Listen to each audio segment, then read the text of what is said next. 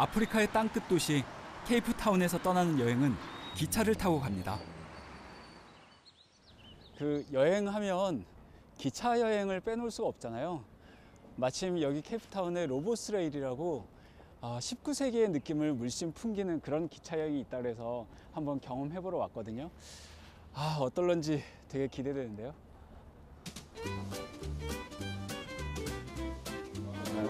Yeah. Sparkling wine, orange juice, and apple juice. Uh, sparkling wine, please. You can go in and have a seat. Yeah, thank you. Thank you so much. Welcome. 야, 여기 왔더니 전 그냥 열차를 타러 왔는데 그 고급 호텔에 가면 그 웰컴 뭐 드링크 이런 거 주잖아요. 그런 것처럼 이런 거 주시는데 어, 되게 영광인데요. 땡큐. 아프리카의 자부심이라는 로보스 레일을 타기 위해 먼저 도착한 곳은 전용 라운지.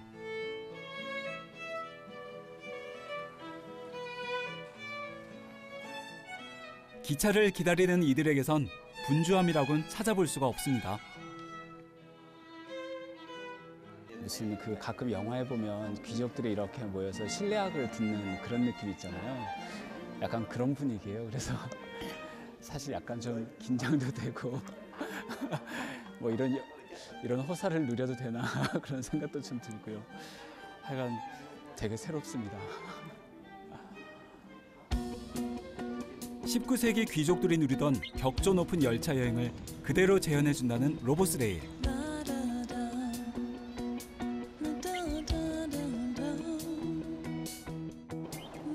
기차역에 들어서자 고풍스러운 외관의 열차가 이제 막 과거의 시간 속으로 떠날 채비를 하고 있었습니다.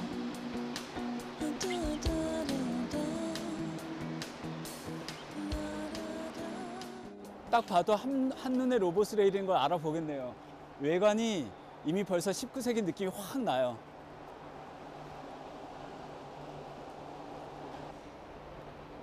다른 시공간으로의 이동이 가능한 열차.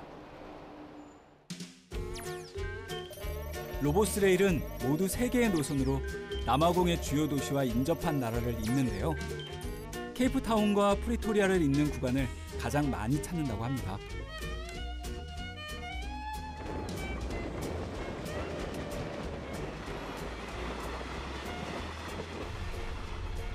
기대와 설렘 속에 들어선 열차는 객차마다 각각 두세 개의 객실이 마련돼 있었는데요.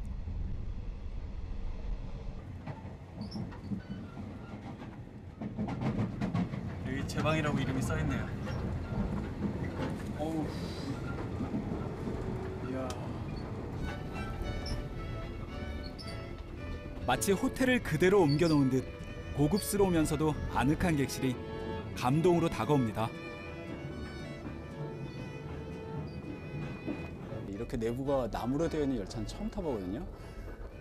가끔 추리 소설 같은 걸 읽으면 열차 안에서 뭐 일어나는 일들이 다르잖아요.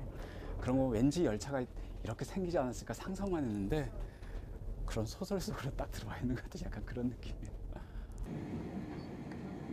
아기자기하면서도 완벽한 시설을 갖춘 욕실까지. 오. 야. 화장실 전망이 진짜 끝내주네요. 그러면 이렇게 볼일 볼 때 여기 앉아서 이 바깥 경치를 이렇게 쭉 보면서 야. 그 우리나라에도 좋은 사찰들 가보면 해우소라 그래가지고 이렇게 밖에 좋은 풍경 보면서 볼일을 보면서 이제 근심 걱정을 털어버릴 수 있잖아요. 여기가 완전히 남아프리카식 해우소인데요. 로보스레일 최고의 호사는 역시 달리는 차창 너머의 광활한 풍광이었습니다.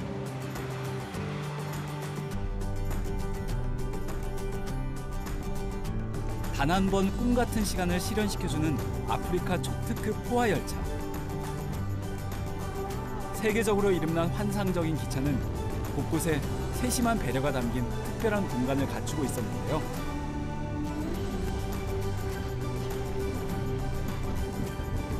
이야.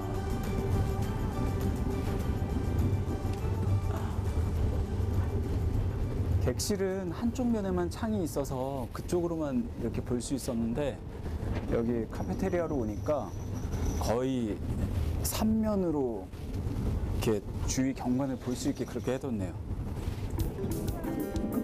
눈부신 아프리카의 대자연을 사방으로 즐기며 아름다운 여유를 누리는 시간.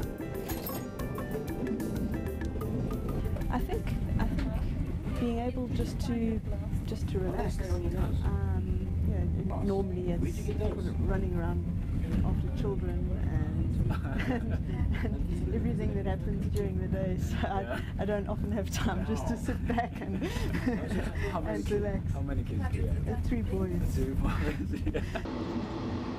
서로 이야기를 나누다 보면 열차 안에서는 모두가 가족처럼 어우러지는데요. Can you show me how to make the best milk tea?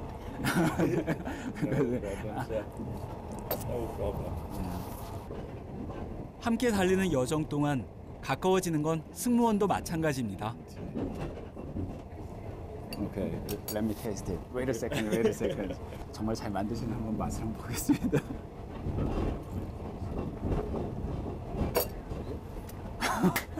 진짜 잘 만드셨네요. 아, thank you. I have no hands. So thankful. 여기는 창문을 안 두고 이렇게 오픈해 두셔서 여기 자연의 느낌을 고스란히 느낄 수 있게 그렇게 해 두셨네요. 아우 시원하다.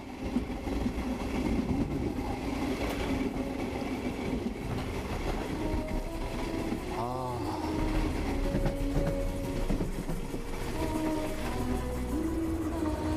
시속 약 60km. 완행으로 맛보는 원시 아프리카의 바람과 햇살이 가슴을 뛰게 합니다.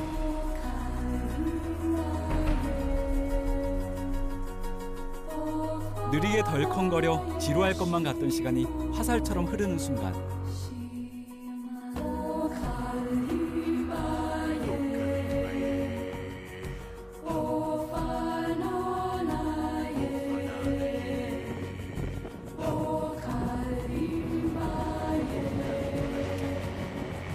마침내 아프리카의 태양이 열기를 잃어가면 열차는 과거의 시간 터널 속으로 다시 긴 꼬리를 그리며 들어섭니다.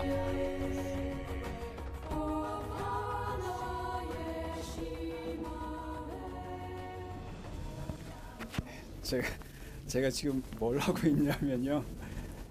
여기 로보스레일에는 드레스 코드가 있어서 저녁 정찬 때는 이렇게 타이에 자켓까지 입는 게 예의라고 합니다. 이 여행 중에 이렇게 드레스 코드를 맞춰 있는 게 사실 익숙한 일은 아닌데 또 그런 게 있다면 또 맞추는 게 그 여행을 충분히 즐길 수 있는 것 같아서 이렇게 한국에서부터 갖고 와서 지금 입고 있어요. 근데 이렇게 입고 밥 먹어본 일이 없어서 아, 시- 식사가 잘 될런지 모르겠네요. 나만 너무 오바했나?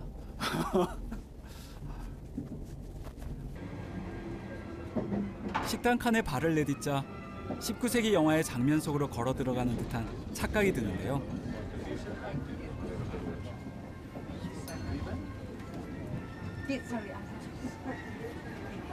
다들 차려 입으셨네요. 지긋한 나이 서로를 위한 선물로 준비한 호화로운 시간을 모두가 마음껏 즐깁니다.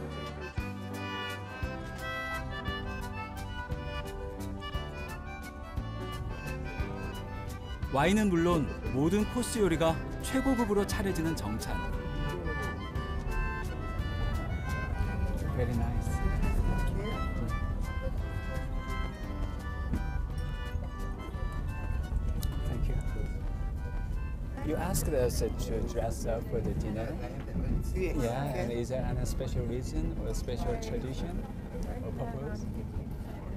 Yes, it is. Um, you know, if everyone has dressed um, like with the collar and tie, you can see that this trend is back to the old fashion. And way people were traveling with the collar and tie when they were traveling on the trains. 이 열차의 그 다른 별명이 아프리카의 자부심이거든요. 그래서 이렇게 승객들한테 좀 불편하더라도 옷을 갖춰 입으라고 하는 게 19세기의 느낌을 느끼게 할 수도 있지만 또 그 자부심에 어울리는 그런 분위기를 만들기 위해서인 것 같네요. 드디어 최고의 맛을 자부한다는 메인 요리도 준비됐습니다.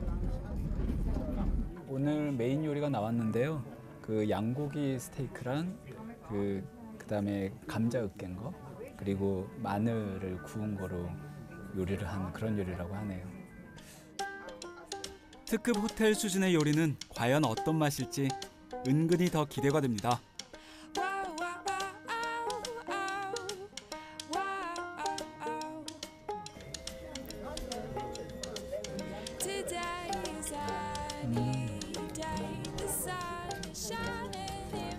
양고기 맛이 약간 나긴 하는데 맛도 우리 소고기 장조림 같은 음, 그런 맛이에요. 기차에 오른 뒤부터 매 순간들이 저에게는 낯선 문화를 경험하는 새로운 기회로 다가옵니다.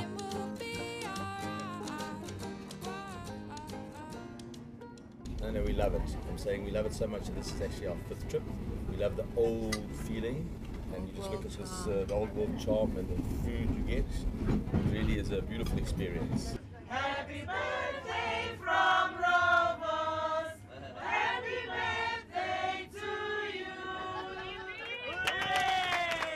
아프리카 대륙을 달리는 열차 안에서 보내는 생일은 더욱 특별하겠죠?